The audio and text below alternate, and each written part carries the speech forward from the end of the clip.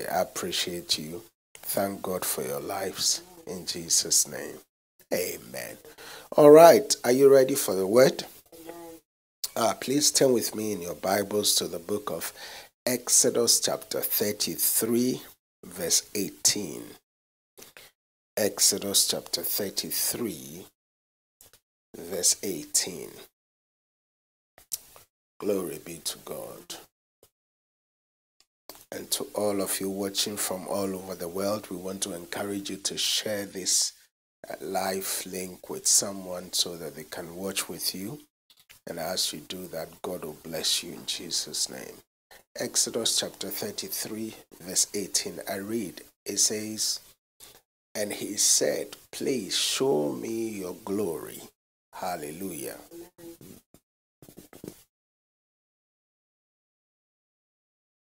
And he said, Please show me your glory. And we are blessed by the reading of God's word. I'm continuing with my message that I have titled, Show Me Your Glory. And this is part four. Show Me Your Glory. And this is part four. Every believer must desire to experience the glory of God in an unusual way because we were made in the glory of God. We were made in the glory of God. Genesis chapter 1, verse 26 God says, Let us make man in our own image. That word in our own image and in our own likeness there means the glory of God. Because one thing God doesn't share with no man is his glory. That's why uh, the devil's number one desire is to steal God's glory. The devil wanted the glory of God. And so God doesn't share his glory with no man. So when God made man in his glory, when man, when Adam came to the garden in the cool of the day and he's talking with God, or God comes down in the cool of the day and he's talking to God, they were like identical twins. The animals could not distinguish between Adam and God. Uh, you can attest to the fact that there are some identical twins, even some parents cannot identify them. They are so identical that even the mother and the father don't know who is the who is uh, A or who is B. Are you following what I'm saying? So that's how God made man. God made man in his own image to reflect his glory here on earth. But when man fell, then what happened was that man lost that glory. That's why Romans say, For all have sinned and fallen short of the glory of God. So that means sin robbed us from operating in the glory. But when Jesus Christ came, Jesus came to restore back the glory of God that was lost in the garden unto us. Are you following me? So, quick question we want to ask is what is the glory of God? What is the glory of God? The glory of God is the splendor and the majesty of God. The glory of God is the splendor and the majesty of God. What is the glory of God? The glory of God is the manifest presence of the fullness of God the manifest presence of the fullness of God. So that means when the glory of God shows up, God Himself comes down. He manifests His fullness to you. Number three, what is the glory of God? The glory of God is the weight of God. The glory of God is the weight of God. That's why First Chronicles chapter 3 uh, from verse 15 tells us that when the ministers and the choir and the instrumentalists were all of one accord. The glory of God came down. When the glory of God came down, the Bible says that, and the priest could not stand to minister because every time the glory of God shows up, he comes with his weight. The glory of God is the kabod of God, is the weight of God. First or Second Chronicles chapter 3, from verse 13 to 15. Are you following me? So, whenever the glory of God comes down, the glory of God shows his majesty. Hallelujah. That's why in this season, your number one prayer must be, Lord, show me your glory. Hallelujah. Listen, the glory of God is so precious to God, such that he does not share his glory with anyone. God does not share his glory with anyone. God shares everything, but as for his glory, he doesn't share it with anyone. So when we begin to operate in the glory of God, no weapon of the enemy formed or fashioned against you shall prosper, because the glory of God protects you. I showed you how when you are in the glory, nothing can penetrate the glory. Philip asked Jesus to show them the Father, just as Moses asked God to show him his glory. So in John chapter 14, from verse 6 to 11, the Bible says that Jesus said unto him, I am the way, the truth, and the life. No man comes to the Father but except through me. If you had known me, you would have known my Father also. I want you to pay attention to what Jesus is saying. Philip asked Jesus, Show us the Father. But Jesus is going to show them something very significant that was in front of them, but all this while they did not know that Jesus was the glory of God in their midst. That's why John chapter 1, verse 14, the Bible says that and the word became flesh and dwelt among us, and we beheld his glory, the glory as of the only begotten of the Father, full of grace and truth. The Bible in other translations says, and the glory became fleshed and moved into the neighborhood. So Jesus is the glory of God. So every time you see Jesus, you've seen the glory. Remember on the Mount of Transfiguration, the glory of God overshadowed Jesus. And the voice of heaven came and said, This is my beloved Son, in whom I am well pleased. So in John chapter 14, verse 7, Jesus said to Philip, If you had known me, you would have known the Father. And from now on, you will you will know him and have seen him. Now, follow what Jesus is saying. Now, God says, No one can see me and live. But Jesus is telling Philip, From now onwards, you would have known, you, you, will, you will know him, and I am the one. You have seen God. And Philip said to Jesus, Lord, show us the Father and it will be sufficient for us. Show us the Father, and it will be sufficient for us. And Jesus said to him, Have I been with you? Have I been with you so long, and yet you have not known me? Now, listen carefully. Philip is telling Jesus, Show me the Father. And Jesus is telling Philip, have I been with you so long and you have not known me? So, Jesus, when he was here on earth, he manifested the glory of God. Sometimes what you need can be right in front of you. And it takes the spirit of discernment to know what you desire is right by you. So Jesus said, Have I been with you so long? and yet you have not known me? Philip, he who has seen me has seen the Father. So how can you say, Show us the Father? So God was in Christ right there, the glory manifested fully. But Philip could not see the glory. Are you following me? So Jesus said, do you not believe that I am the Father? Philip, do you not believe that I am in the Father and the Father in me? Oh, this is powerful. Jesus is telling Philip, Do you not believe that I, Jesus, who is standing in front of you, I am in the Father, and the Father is in me? That is one flesh right there. Take, take, let's say, a Vimto, Vimto drink, a squash, and pour it in water. You won't be able to separate the Vimto squash from the water. They become one.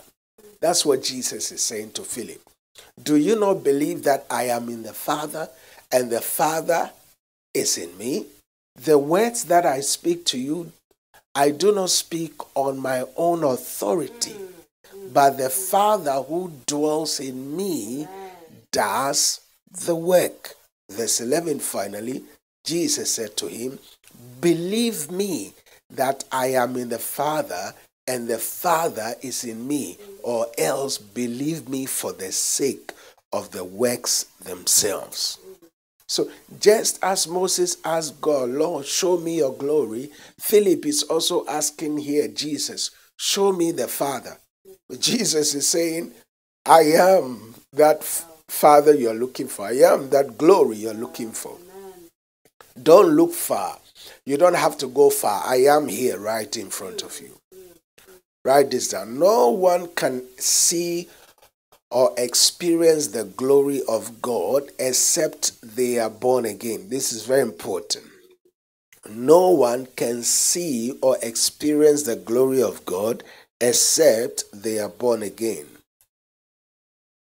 So, therefore, to be part of the kingdom of God and to see the glory of God, you must first be born again. You must first be born again. John chapter 3 from verse 3 to 6. John chapter 3 from verse 3 to 6. Jesus answered and said unto him, Verily, verily, I say unto you, or most assuredly I say to you, unless one is born again, he cannot see the kingdom of God. Nicodemus said to him, How can a man be born when he is old? This is an intellectual asking Jesus this question. Can he enter a second time into his mother's womb and be born again? Jesus answered and said, Verily, verily, I say unto you, most assuredly I say unto you, unless one is born again, he cannot see the kingdom of God. So Listen, for God to show you his glory, number one requirement is you have to be born again. If you're not born again, God will not give you the eyes to be able to behold his glory. Are you following me? Jesus said, Except a man be born again, he cannot see the kingdom of God. Verse 4 Nicodemus asked him, How can a man be born again when he's old? Can he enter a second time into his mother's womb and be born? That's, that's we've, we've already said that, you know. So Jesus said to him, Except a man be born of water and of the Spirit, he cannot enter into the kingdom of God. So these requirements are so critical for you to access the glory of God. To be, to be able to access the glory of God, you have to be born of water and of the Spirit. For that which is born of flesh is flesh, and that which is born of the Spirit is spirit, Jesus said in verse 6. So you have to be born again. You have to be born again you have to be born again. During the service towards the end, I'll give you an opportunity to be born again. I'll give you an opportunity to give your life to God. I'll give you an opportunity to give your life to Christ so that you can experience the glory of God. Once you become born again, then you are ready to experience the fullness of the glory of God. Once you are born again, then you are ready to experience the fullness of the glory of God. Listen, once saved, we operate in the same level of glory Jesus operated on when he was operated in when he was here on earth. Did you get that? Once you become born again, you and I operate in the same level of glory Jesus operated in whilst he was here on earth. Romans chapter 8, verse 11. Same glory, same level of glory. Romans 8:11 says, "But if the spirit of him who raised Jesus from the dead dwells where in you, same spirit, right? not a different spirit. Same spirit that rose Jesus from the dead dwells in you. That means same glory. The same glory, same glory dwells where in you. He who raised Christ from the dead will also give life to your mortal bodies through his spirit who dwells in you. So you see, once you get born again, the same glory that operated in Jesus begins to operate in you. That's why John chapter 17, from verse 22 to 24, listen carefully to Jesus' prayer. John chapter 17, from verse 22 to 24. I wanted to note this carefully because this is very important. When Jesus was about to depart, look at his prayer for us his prayer to God for us. Listen, he said, And this, the glory which you, God, have given me, have I given them, that they may be one, just as we are one. Let's stay there for a few minutes. Jesus prayed that the glory which you, God, have given me. I have given them. So, like Romans 8 11 says, it's the same spirit, it's the same glory. Jesus said, The glory which you have given me, I have given them. Now, there is no way Jesus will ever give us a lesser glory than what God gave him.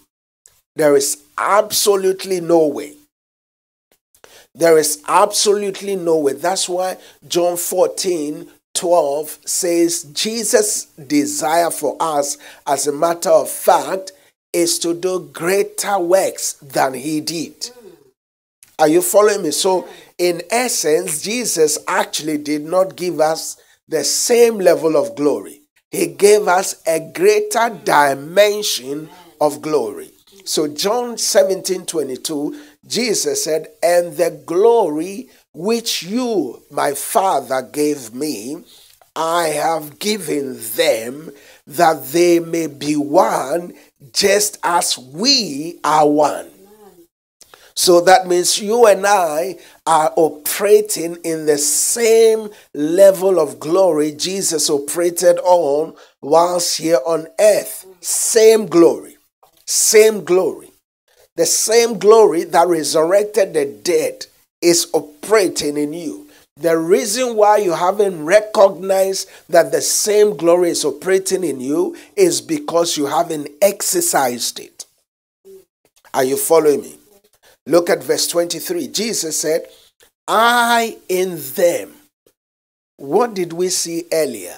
We saw when Philip asked Jesus to show us, to show him the Father, Jesus said to Philip, I am in the Father, and the Father is in me. Now look carefully in John 17 23. Jesus said, I in them.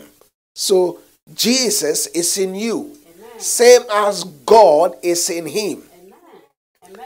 He said, I in them and you in me. The you there is God. I there is Jesus. I in them. The them there is you. Jesus said, I in them and you in me, that they may be made perfect in one, that the world may know that you have sent me and have loved them as you have loved me. Hallelujah. And uh, Jesus said, Father, I desire that they also, whom you gave me, may be with me where I am, that they may behold my glory which you have given me. For you have loved me before the foundations of the earth. Last verse, verse 24. The Bible says, verse 24, it says, Father, I desire that they also whom you gave me may be with me where I am, that they may behold my glory. Hallelujah. Hallelujah. Amen. So, listen, you are operating in the same glory. I've come to announce to you a solution that we are now in the season of the glory of amen. God. Amen. Say a good amen to that. We are now in the same in the same level of glory Jesus operated in and over and above in Jesus name. Listen, there are different levels of glory. There are different levels of glory. And I want to briefly, with the time that I have, show you the different levels of glory that you can operate in. 2 Corinthians chapter 3 verse 18. 2 Corinthians chapter 3 verse 18. It says, "But we all with open or an unveiled face, beholding as in a glass the glory of the Lord, and we are being transformed. Look at what transforms us the glory of the Lord. Uh, transforms us into the same image. Mm. You see, that's why I keep telling you, you are operating in the same level of glory. You don't have a lesser glory. When the glory of God comes, He transforms you into the same image. The same image. And He doesn't end there, He takes you from glory to glory as the Spirit of the Lord by the Spirit of the Lord. And so it says, But we all, with an unveiled face, beholding as in a mirror the glory of the Lord, are being transformed into the same image from glory to glory, just as by the Spirit of the Lord. Notice that, underline that word. We are being changed into what? The same image. Same image. Very important.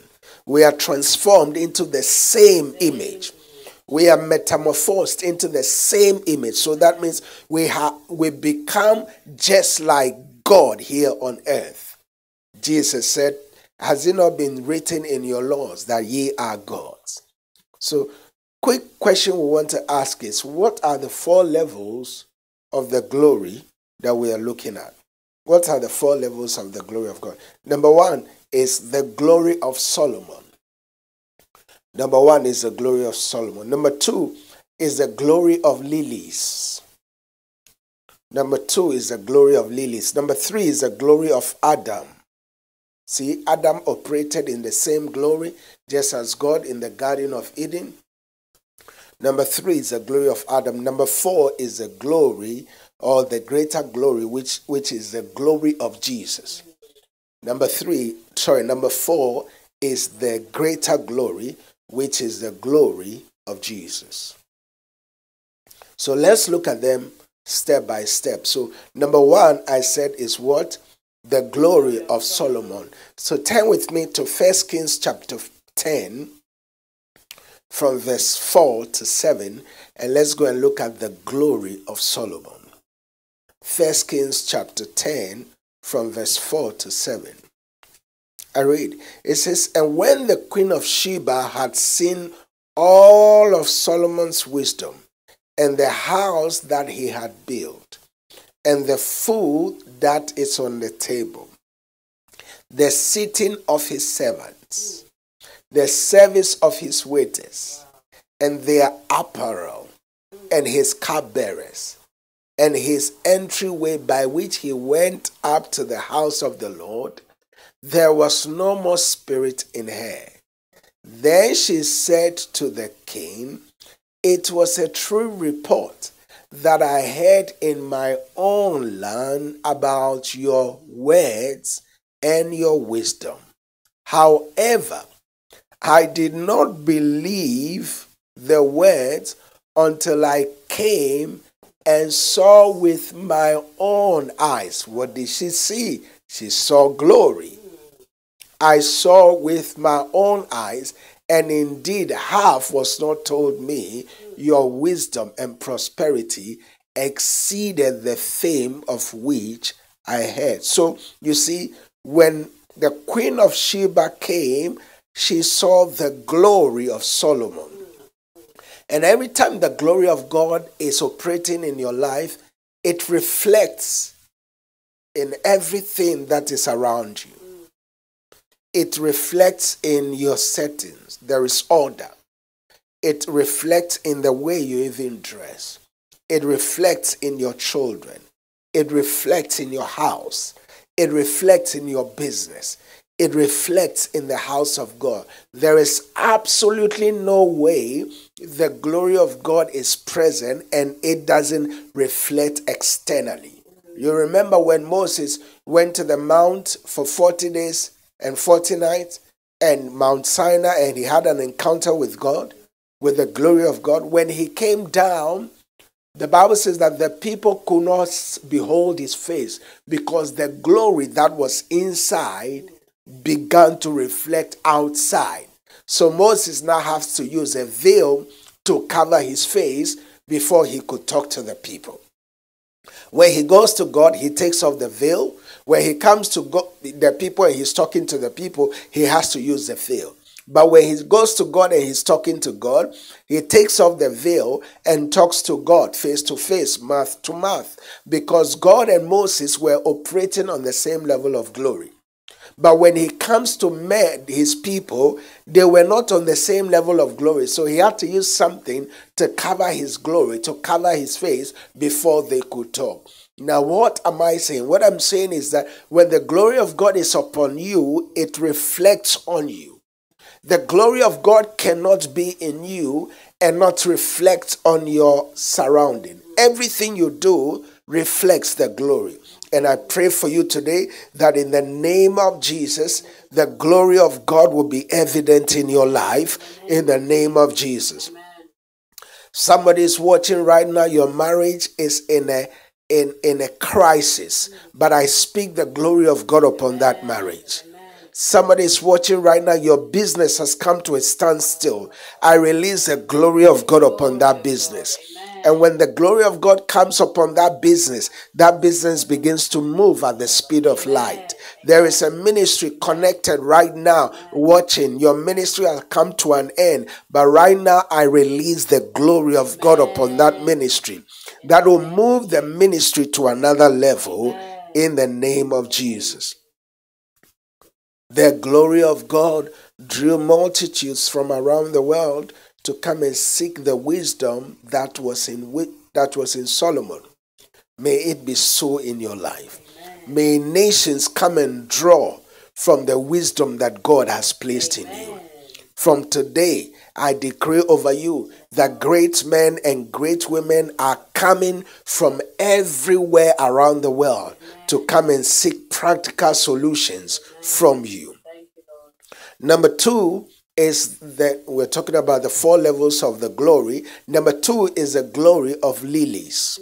Number two is the glory of lilies. Luke chapter 12, verse 27 to 28 the glory of lilies. Luke chapter 12, from verse 24 7 to 28. Listen to what Jesus is saying. Jesus said, Consider the lilies, how they grow. They neither toil nor spin. And yet I say to you, even Solomon in all his glory was not arrayed like one of these.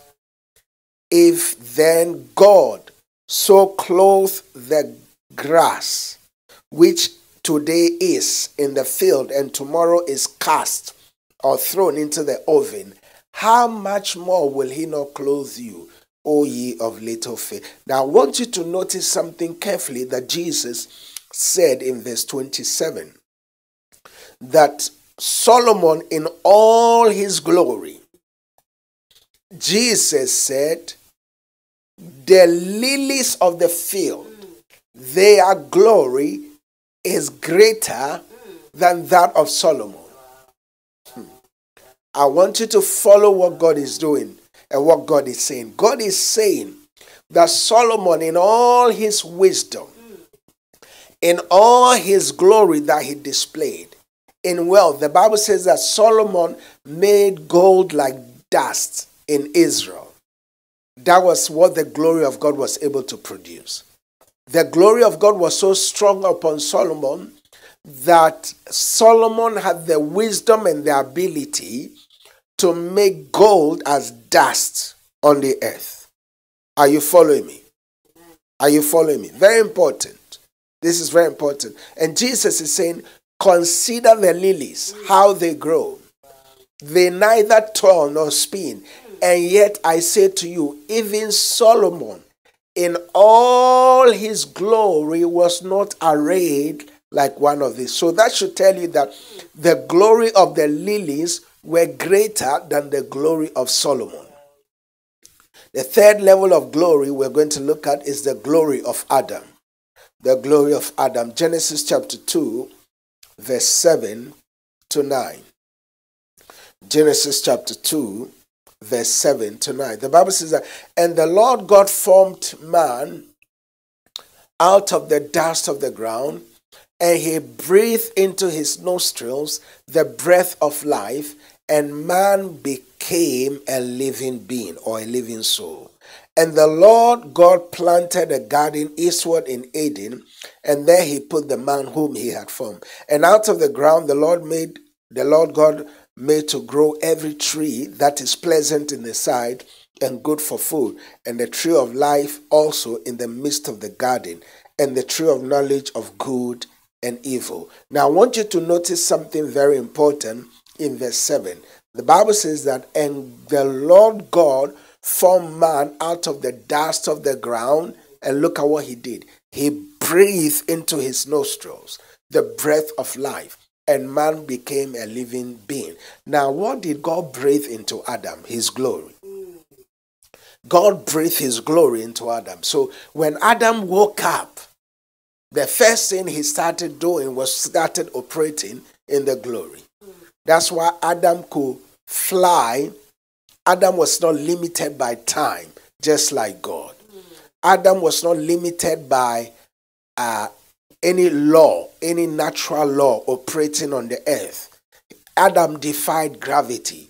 He could fly into the air and name all the birds. Adam went under the sea and under all the rivers and named all the fishes. Without using something to breathe, he could operate underwater. He could operate on the earth Adam was operating just like God because he was operating in the same level of glory, just as God. But look at look at something that happened. But the moment they came out of the covering of the glory of God, toiling was introduced. Genesis 3 7 to 8. The Bible says that in the eyes of both of them were open, and they knew that they were naked, and they sewed fig leaves together and made themselves aprons. And they heard the voice of the Lord God walking in the garden in the cool of the day. Adam and his wife hid themselves from the presence of the Lord God amongst the trees of the garden. So the moment sin came in, Adam and Eve lost the glory. I pray that you will not lose the glory in the name of Jesus. Finally, last but not the least, we want to look at the greater glory, which is the glory of Jesus. Amen. The greater glory, which is the glory of Jesus. Haggai chapter 2, verse 9. Haggai chapter 2, verse 9. It says, The glory of this latter house Amen. shall be greater than the former, saith the Lord of hosts. And in this place I will give my peace, saith the Lord of hosts. Amen. So we are in the season of the greater glory. Luke chapter 11, verse 31. Luke chapter 11, verse 31. Listen carefully to what Jesus is saying. Jesus, the queen of the south, talking about the queen of Sheba, shall rise up in the judgment with the men of this generation and condemn them. For she came from the ends of the earth to hear the wisdom of Solomon. And indeed, a greater than Solomon is here. Say amen to that. Amen.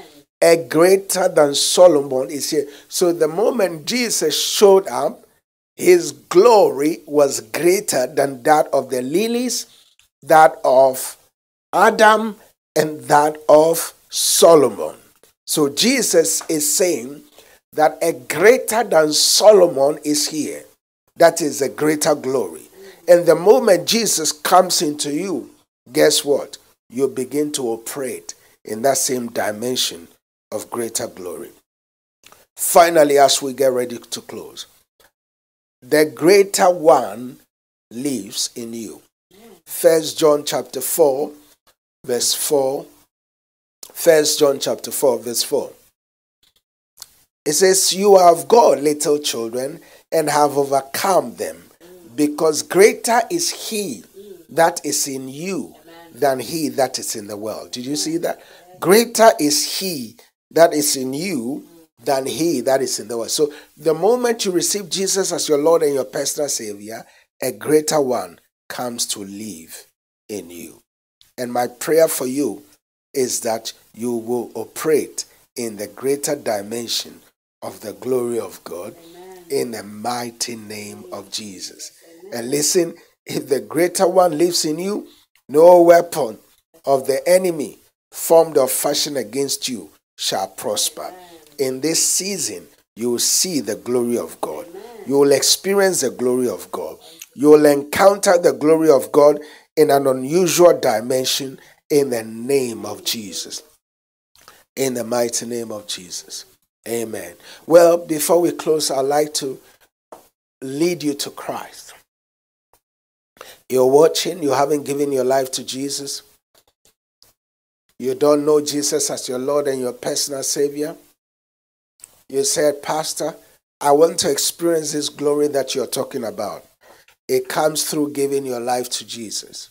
So say with me, Lord Jesus, Lord Jesus I, come to you just as I am. Forgive me of my sins. Write my name in your book of life. May I serve you all the days of my life. From today, I have decided to follow you. No turning back. No turning back. In Jesus' name. Well, if you pray that prayer, I want you to know that today you are born again. Father, we thank you for these precious souls that have given their lives to you. Help them, strengthen them, let them stay connected till Jesus appears. In Jesus' name, amen and amen and amen. Why don't we just take a minute just to pray? Ask God to show you His glory. Ask God to show you His glory. Ask God, Lord, show me your glory. Show me your glory, Lord. Show me your glory, Lord. Ask God, show me your glory. Lord, show me your glory. I've had enough of a life of no glory. I want to see your glory. Lord, show me your glory. Show me your glory. Show me your glory. Ask God to show you his glory. Lord, show me your glory. Lord, show me your glory. I want to have an encounter with your glory. In Jesus' name. In Jesus' name. Father, we thank you for the opportunity to come before you today. Thank you for your presence. Do a new thing in our lives. Show us your glory, Lord. We want to experience your glory in, a, in an unusual dimension. We thank you. We give you praise. In Jesus' name. Amen, amen. and amen. Let's share the grace. May the grace of our Lord Jesus Christ, the love of God, the sweet fellowship of the Holy Spirit be with us now and forevermore. Amen. Surely goodness and mercy shall follow us all the days of our lives, and we shall dwell in the house of the Lord forever and ever. Amen. Go from this place with this confidence and assurance, knowing that you are a solution to the nations. We love you. God bless you. Have a glorious, glorious day in Jesus' name. Amen.